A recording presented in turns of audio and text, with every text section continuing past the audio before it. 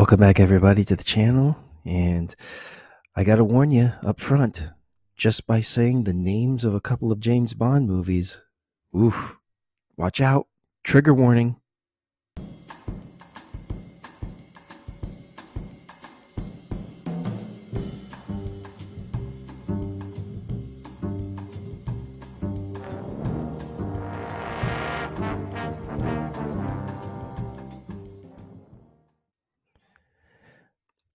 All right. So, yes, uh, some news just came out about uh, some James Bond movies with the uh, is it the British Film Institute, uh, the BFI, and they added trigger warnings for some of the Bond movies, and um, I'm gonna get right into what they have stated um, this or the disclaimer has been issued on behalf of all films featured in the season, with those buying tickets being warned that they contain language, images, or other content that reflect views prevalent in its time but will cause offense today, as they did then, is what they say.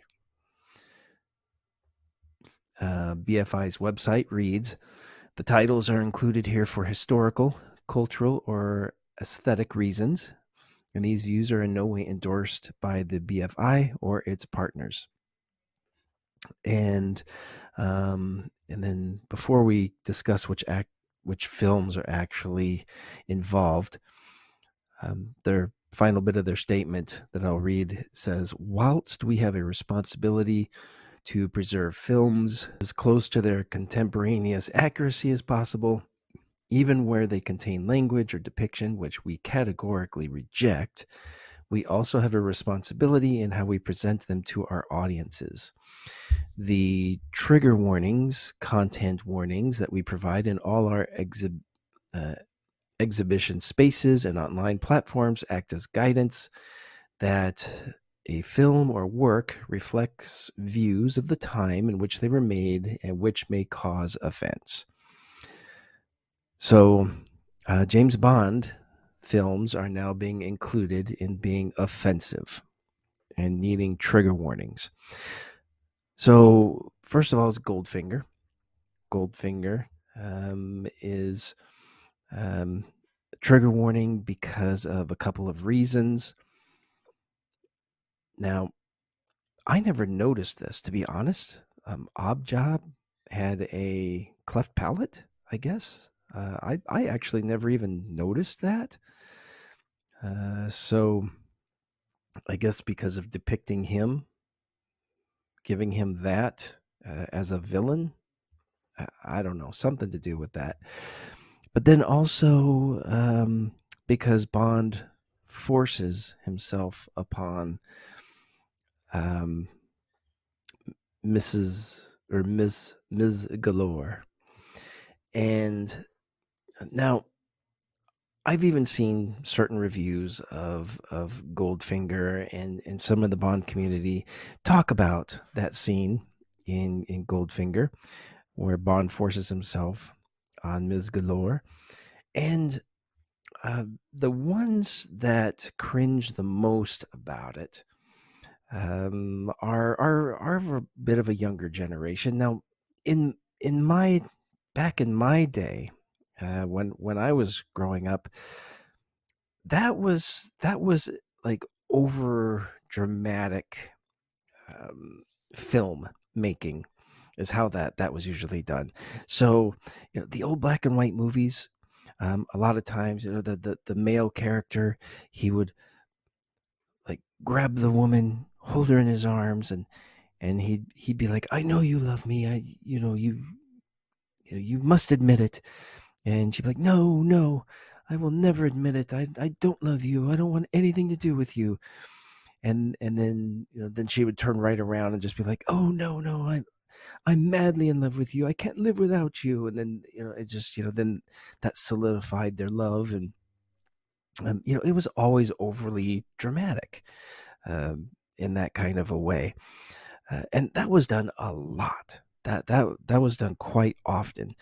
to you know some and it wasn't that somebody was forcing themselves on the other person it was the other person they were upset that they, they didn't want to admit that they loved this other person or didn't want them to to know or they just didn't want to show it to them and that but they did you know they loved them and and and, and it came to a breaking point is, is what it did you know just that they it was either okay now i have to show my love to them or they're gone forever. Yeah and so uh, so rather they they would begin to reject them and then they had to admit their love for them.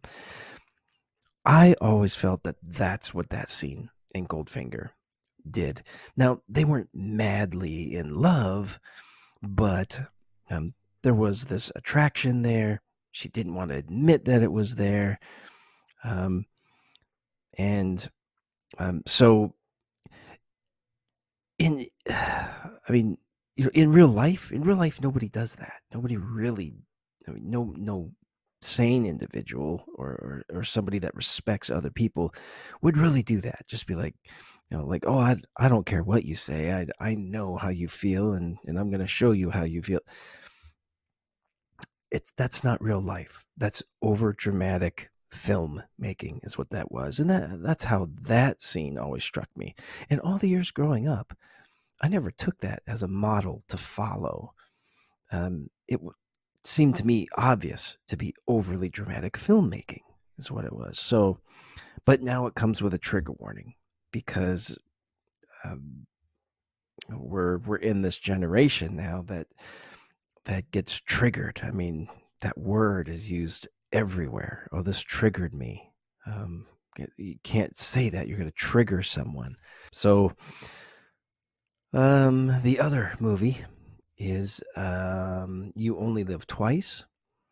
And apparently, this, because Bond does um, Japanese face, I guess you could call it, um, because he, he pretends to be Japanese. He's trying to mix in um, with and he's actually not trying to mix in with the the culture per se he's trying to mix in with the community so that he can get close to the secret lair of of the bad guy um, and in order to he has to be in disguise to do it well there's a trigger warning for that um, and apparently that's because of the cultural appropriation, stereotype, things of that nature.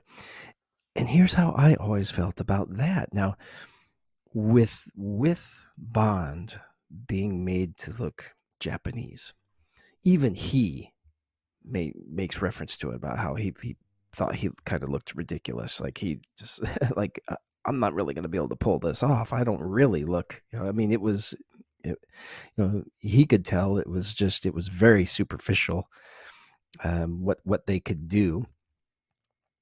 But but through the making of that movie, when I was younger, even to this day, I watch when I watch that movie.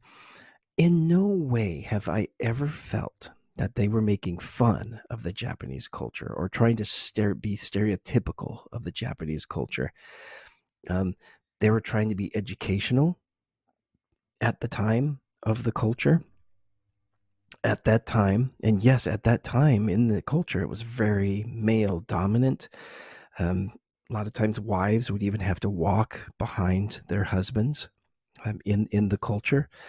Um, nobody shaked hands. It was a it was a bow um, out of respect and courtesy. So there's a lot of customs back then. They're not the custom now because um, it's more of, of modern culture and, and a mix of of other countries and their cultures now. But um, in that movie, it felt like they were trying to make you respect their culture, and and they even kind of tried to portray it as these were the cultural people. These people, they were the ones that had culture. And, and I remember um, Tiger saying, even to Bond um, at one point, saying, "Hey, you're you're actually kind of a cultured person for a European," um, and and that's because Japanese culture back then probably looked at other other countries and their cultures as as not being at a higher level that they were at. So so and and I got that feeling through that movie that the the Japanese culture was kind of at a higher level and and it was something that Bond respected and um, wanted to learn more about and they were trying to teach us about and help us to uh, respect it, see the beauty of things. And so, but now, now it's, it's viewed as offensive. And I feel like that label gets thrown on things when it really wasn't the intent um, of a number of things. So, so, but that's where we're at. We're with some Bond movies having trigger warnings now. If if I were to pick one that that may have some trigger warning on it. Probably the man with the golden gun.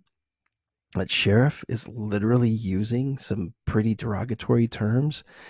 Now, it's the buffoon, it's the comedy relief, it's the village idiot, so to say, that is using those terms. So it's obvious that just like, yeah, yeah, um, the only the only one that would be using these terms so so loosely like this would be the buffoon um, and so it's not it's portrayed in such a way to where yeah i mean somebody's using some derogatory terms in the movie but he is definitely not being highlighted as a hero for it. Um, he's just being seen as as the idiot. And oops i keep hitting my mic sorry.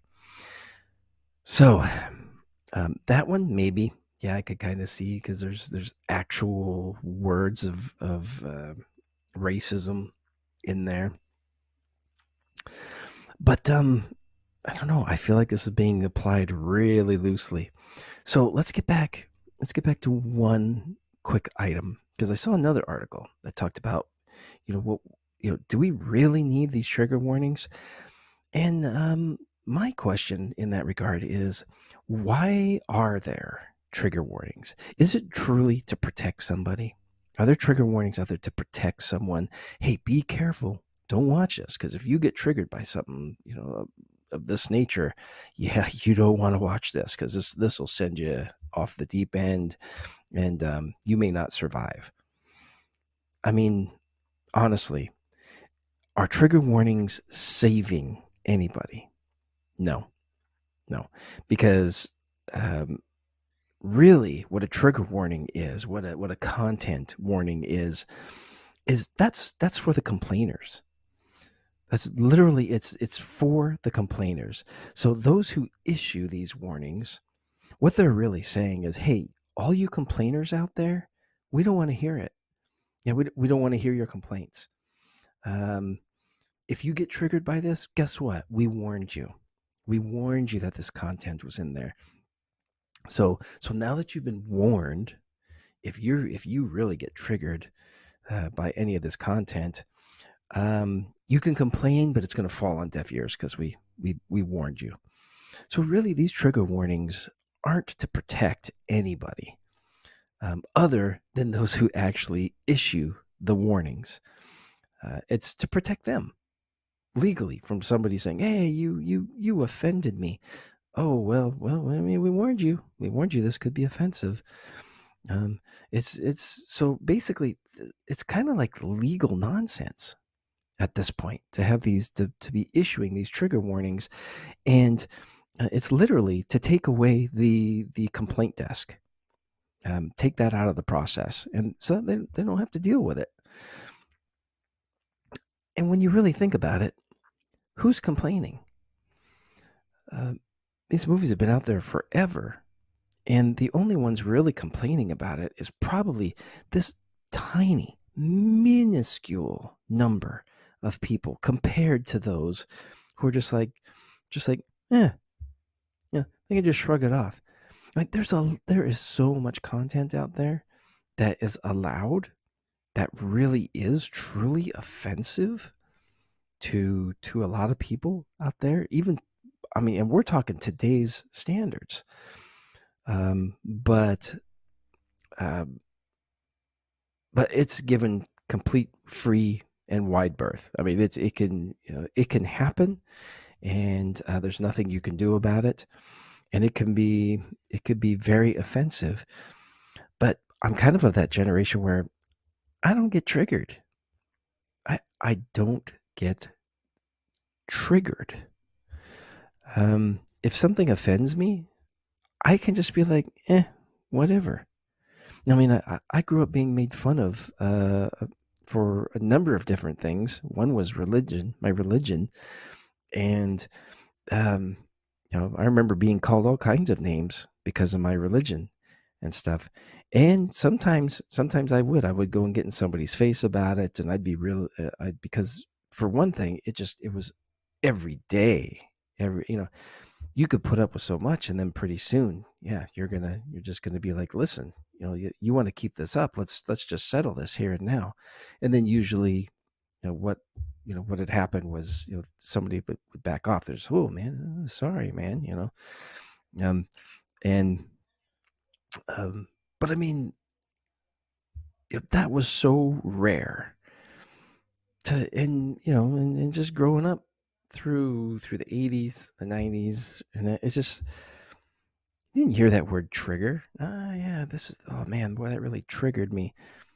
That's like I, I don't know why um, the generation today is just so easily and so fast to be triggered. Um, and sometimes I'll even be, I'll go into the office or something and then I hear the, the younger generation and they're just kind of talking like, like, oh, you know, my anxiety, my anxiety is so high or, or this really triggers my anxiety. And so, and these are young people. Um, why, why are the young so anxious? I mean, um, as I've gotten older, my nerves have become, you know, a lot more sensitive and yeah i i get some anxiety i get some stress and um panic attack kind of kind of stuff from now now and then but that happened because i got got old uh but this younger generation is starting out with it by the time they're old i really fear for them because if this is how they're starting out i mean you have no idea in 30 years my goodness, you have no idea just how raw your nerves are going to be. so I'll tell you, if, if you can't handle it now, I really fear for um, some of these younger people and the anxiety and stress that they, they feel. Um, so I, I, don't know if it's coping mechanisms aren't there like they used to be, or um, on quite honestly, I think social media has played a huge role in in that. Um, and all kinds of misinformation and division being caused out there and just I, I think it's all tied to social media because that's something my generation didn't grow up with and it is a stressful thing that um, we didn't we didn't have to worry about so that's to me that's kind of what i feel it is anyway um so what do you think what do you think bond movies having a trigger warning um I wanted to get this video out there. Uh, it probably won't get as many views as, as some of the the, the higher um, subscribed channels in the Bond community who who will probably address this uh, later as well. But um, but this is this is the future of the Bond movies. And probably from this point on, there's going to be a trigger warning um, on there, and and um, and then you know most people will watch it and just be like, uh, what what was the warning about? They, they won't even realize. Uh, just like what what was I being warned about? There's nothing nothing there. So we'll see you in the next video. Tell me what you think, and uh, um, let me know your comments. All right.